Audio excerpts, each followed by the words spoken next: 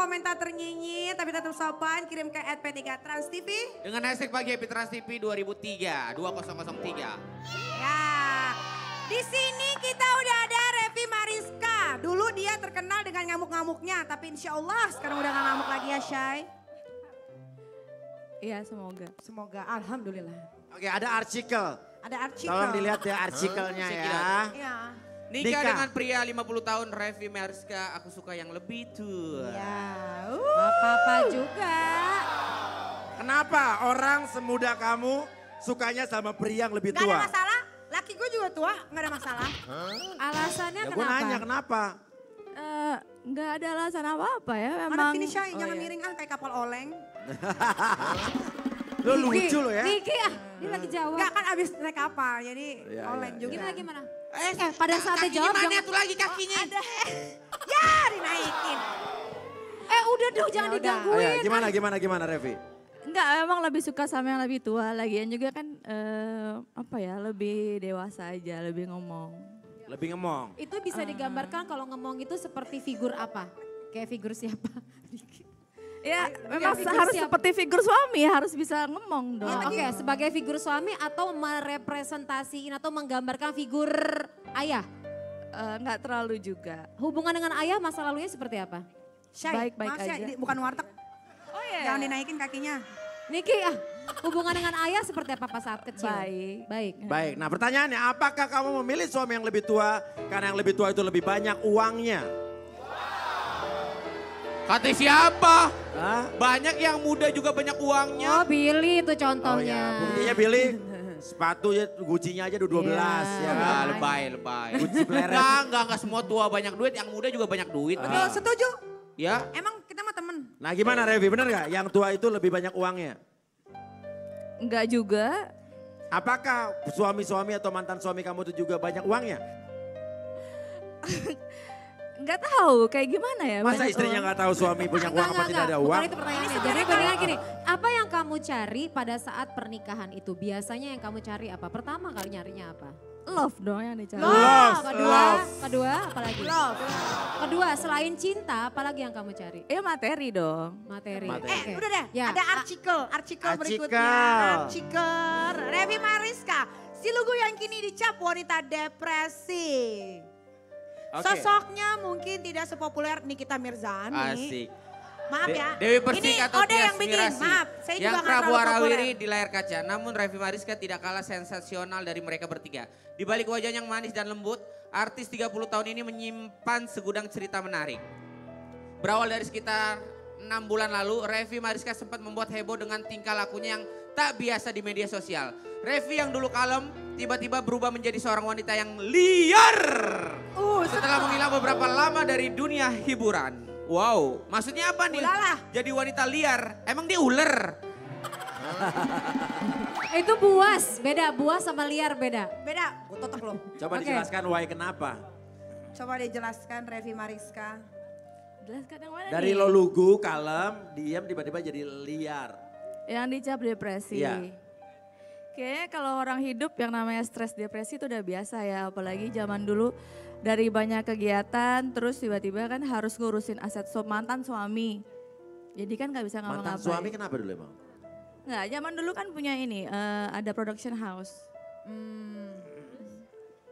Oke, punya production house, kamu punya aktivitas banyak, terus tiba-tiba nurun. Kenapa bangkrut apa cerai dari suaminya? Iya dua-duanya sih. Dua-duanya. Oke, Itu yang mengakibatkan kamu depresi.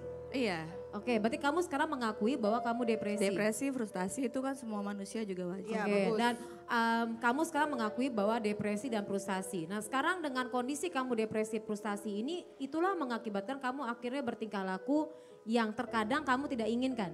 Enggak juga, itu semua kadang-kadang kan eh, dari komentarnya. Ya. Dari komentarnya Iya. terus tiba-tiba ya udah dijadiin aja. Kayak misalnya dibilang padahal udah nikah, terus Hmm. dibilang hamil ya kan akhirnya gue pamer perut dong. Sampai lo teriak-teriak begitu Sampai depresinya? pamer perut terus Oh, ada video akhirnya Ada, ada, ada videonya. Oh jadi ini dia tuh begitu karena ingin memu- mewujudkan omongan-omongan netizen. Ah daripada lu cuma ngomong doang nih, gue buktiin nih gitu kali ya. iya Tapi dia mungkin juga kayak ada tekanan, jadi Oke, dia mengakui kita kita juga. lihat dulu artikel lagi. Artikel, artikel. Artis cantik Revi Mariska dikabarkan jadi murid Dimas Kanjeng. Dimas Kanjeng adalah sosok orang yang tertangkap karena pernah menggandakan uang, penipuan. Ya, modus penipuan. Ya, apakah benar kamu pernah jadi murid Dimas Kanjeng? Enggak kenal. Enggak kenal? Enggak. Kenapa Tuh ada, bisa ada fotonya jadi? tuh. Tuh. Sama-sama pamer duit. Enggak Dimas ngerti, Kanjeng kayak bolo-bolo ya. Lehernya nggak kelihatan. Oh karena sama-sama suka pamer Oh, duit. sama-sama pamer duit. Enggak bohong, ada. Tapi Nggak kalau ada, di- gue gak pernah pamer uang. Itu, itu lu pamer duit ada fotonya. Eh, nggak ngaku. Enggak, Berarti kalau pamer-pamer duit, duitnya banyak dong. Kamu duitnya banyak. enggak, Itu duitnya banyak banget tuh. Dimas Enggak. Kanjeng kan duitnya banyak. enggak. Oke. Bohong. Eh, Revi, Iya, iya. lihat no, Dimas Kanjeng lagi liatin lu tuh. Lihat nggak? Oke. Jangan dibikin jadi jadi makin. Iya, iya, iya. iya. Eh, tapi mantan-mantan suami kamu yang terdahulu umurnya berapa kamu boleh tahu? Eh, kalau yang terakhir yang nomor dua itu jelas lebih tua dari yang sekarang, 50 lebih. 50 lebih, lebih tua 60, 60? 50 lebih terus gue umur 20 tahun. Jadi beda 35 tahunan gitu. Iya. Wow. 40 suaminya. Enggak, yang yang nomor dua enggak dong sayang. Kamu nikah udah berapa kali? Tiga, ini yang yang ini ketiga. masih yang ketiga masih. Iya, ini yang ketiga. Umur Masih? berapa sekarang? Masih. Masih ya. Umur? Kira-kira sampai kapan? Lu pertanyaan lu ada-ada aja lu. Kapan punya anak maksudnya Niki, Oh iya papi. benar, lu tuh Ben pinter lo, Bil. Belain Niki. Iya. Oke oke Kalau sekarang. sekarang suaminya umurnya berapa, sayang? 48 tahun. 48 tahun. Kamu umurnya? Sekarang Sekarang, berapa? Tiga- 32. 32. Oh, Masih Jauh sedikit ya. ya jaraknya Sama ya. sama gue 32. Nah sekarang apa yang mengakibatkan kamu, ini kamu bicara di sini nggak Kamu- ada masalah kan? Gak keberatan kan ngomong Nggak ya? keberatan, oke. Oke, Nah, yang bersangkutan eh, bersedia untuk bersedia. membicarakan apa pun. Jadi tadi kan sempat Ya. keluarin statement bahwa ia mengalami depresi, ia mengakui, ia mengalami frustasi, dia mengakui. Nah boleh tahu nggak biasanya dalam kondisi apa sih kamu mengalami tekanan biasanya pada saat apa? Tekanan tuh banyak ya. Kalau misalnya lagi berantem apalagi gimana. Biasanya yang apa yang kamu lakukan pada saat kamu mengalami tekanan itu? Tadi pas lagi berantem. Kayak misalnya kerja. Kalau zaman dulu kerja kita kan kita kan orang lapangan ya. Iya. Kalau misalkan udah diteriakin, ayo udah mau ini segala macam. Nah itu pasti namanya tekanan tuh pasti Iya, ada. Oke. Nah biasanya kalau dulu tuh pada saat kerja, kalau sekarang pada saat kamu ribut sama pasangan atau Iya. ribut. Nah pada saat kamu ribut sama pasangan, kamu nggak sanggup ngelola perasaan atau tekanan kamu, maka yang kamu lakukan apa? Menyendiri. Menyingkir. Terus apa Menyendiri. lagi? Oke. Terus apa lagi? Terus apa lagi? Udah. Udah. Udah. Ada tempat untuk cerita nggak? Mm, Nggak terlalu juga sih tergantung. Pokoknya Makanya- intinya sekarang kamu udah gak depresi lagi ya? Hah? Masih, Udah gak depresi lagi? masih. Masih aja nih. Masih, Masih. kenapa? Apa yang kamu pikirin? Masih Nggak aja. apa-apa. Gak apa-apa. Apa Depresi karena- itu nggak bisa diungkapkan begitu aja. Dia depresi adalah sebuah kondisi perasaan dari emosi manusia yang bisa naik turun perasaan dan merasa sedih yang berlebihan. Depresi kalau nggak diselesaikan dia bisa mengakibatkan menyakiti diri sendiri dan bisa bunuh diri. Nah ini yang harus dicari solusi bahwa kamu harus ada solusi untuk bisa mengeluarkan perasaan kamu. Biasanya depresi itu akan antisosial, dia nggak mau masuk, nggak mau bertemu dengan siapa-siapa, dan nggak mau kerja, nggak mau ngapa-ngapain. Dia butuh pendamping yang bisa Pertanyaan memahami. saya sama Revi, ngerti gak? Nggak terlalu. Emang Mbak Popi itu kalau ngasih Waduh. omongan terlalu panjang bertele-tele Iya, nih. iya. Dengerin kita nih berdua ya. Iya, iya. Ya. Waduh, saya Nih, tanya ngerti pada banget. saat menjelaskan orang depresi, oke silakan. Peng- Ya, lebih baik Enggak apa enggak? Di bawah happy aja hidupnya cuma sekali ya. iya. Apa yang what makes you happy, just do it. Oke, ngerti? Nice to meet you to you. oke, dah. Oke, Revi Mariska. Pokoknya sekarang kamu dengan suami kami, kamu baik-baik saja. Terencana untuk mencari suami lagi yang lebih tua lagi? Apaan sih? Maksudnya apa sih? Nanti bikin dia makin ini, nanti berpikir macam-macam yang keempat tuh. Nah, Kenalin. tuh kan, Kenalin. niat Pria lagi. tua penuh selera. Iya, iya. Oke, Revi Mariska terima kasih banyak karena setelah ini Ya. akan ada ya, seseorang yang berhubungan dengan kasus yang melibatkan Artis. artis. Tapi sebelumnya boleh kasih masukan nggak? Apa? Coba cari pekerjaan yang kamu sukain dulu. Ya. Kamu mulai acting lagi, kamu mulai cari hobi kamu, itu solusi sih. Sayang Neng cantik-cantik. gua mah orang paling jujur Jerong, gak bisa ya. bohong. Kalau gue bilang cakep cakep. Kasihan kamu, kamu masih punya harapan. Oke. Ya terima kasih banyak ya. Terima kasih banyak Revi Mariska dan Iya. kita lihat bintang tamu kita berikut ini. Cekedet. Cekedat.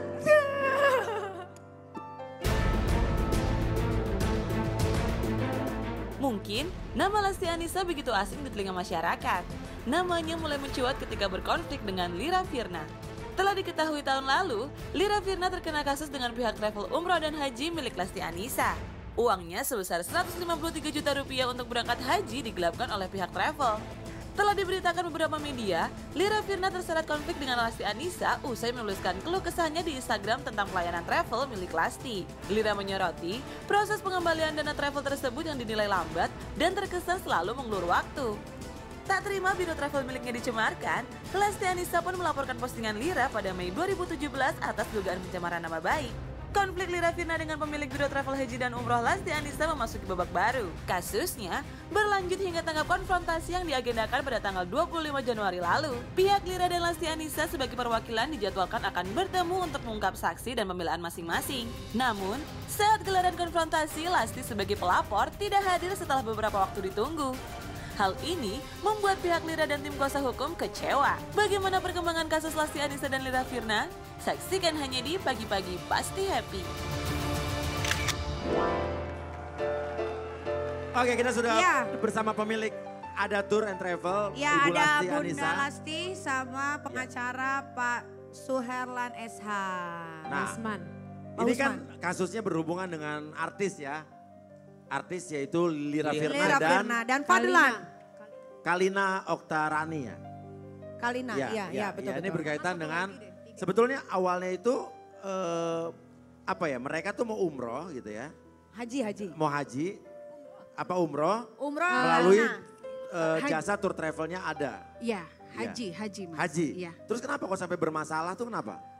Sebenarnya saya juga bingung ya, karena apa yang kita tipu dari dia gitu loh. Jadi eh, ibu dituduh menipu gitu ya. Betul. Jadi eh, tuduhan itu sangat-sangat ini banget ya, apa namanya?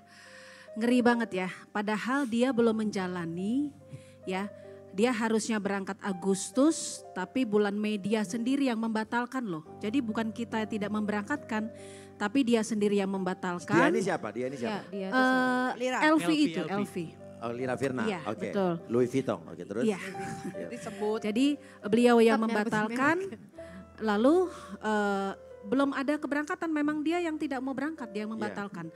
Tapi seolah-olah kita ini travel saya ini menipu dia gitu loh. Oke. Jadi eh, seolah-olah dia tidak diberangkatkan dan dia ditipu oleh travel kita. Itu Dia kan bicara di di media. Instagram, di Instagram. media, di media. Oke. Nah, itu berarti pada saat itu Lira Firna melaporkan Ibu, Ibu. Lasti atau tour travelnya apa tidak? Sebenarnya saya tidak ingin melaporkan karena Apa eh, dilap maksudnya dilaporkan nggak? saya mereka? melaporkan beliau. Oh malah melaporkan? Iya, Atas? pencemaran nama baik. Karena eh, Ibu Lasti tidak merasa apa yang di... Ya, betul. Karena ini bersangkut mereka gitu. pautkan de- dengan travel ya, travel yang membawa orang banyak ya jemaah. Iya. Jadi Iya. nama baik itu harus dijaga. Oke, gitu namanya ada loh, statement dari kuasa hukumnya Lira Firna tentang hal ini. Ya, Cekedek. cekedek.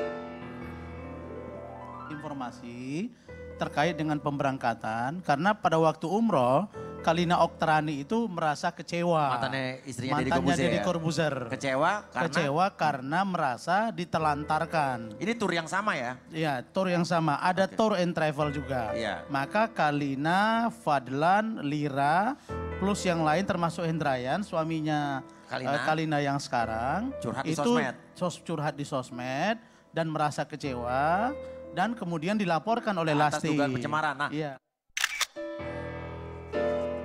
Nah ini dia, menurut Bunda bagaimana eh, tanggapan tentang pengacaranya Lila Firna? Iya.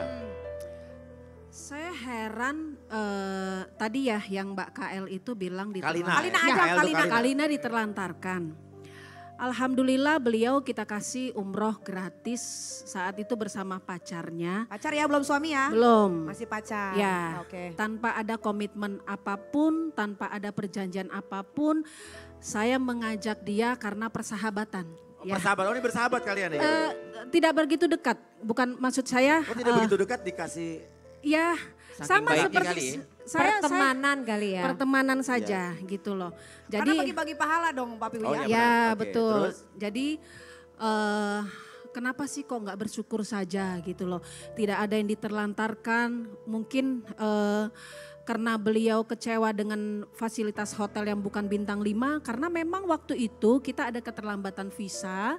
Jadi hotelnya sudah terlanjur eh, full. Tapi bisa jadi Bunda uh, dia jadi mendapatkan yang tidak bagus di Mekah sana karena dia berangkatnya sama pacar kan kita tidak boleh berangkat kalau belum itu ya uh, belum sah bukan murim jadi dihambat-hambat akhirnya dapatnya fasilitasnya Tapi kan di sana belum tentu dia pacaran.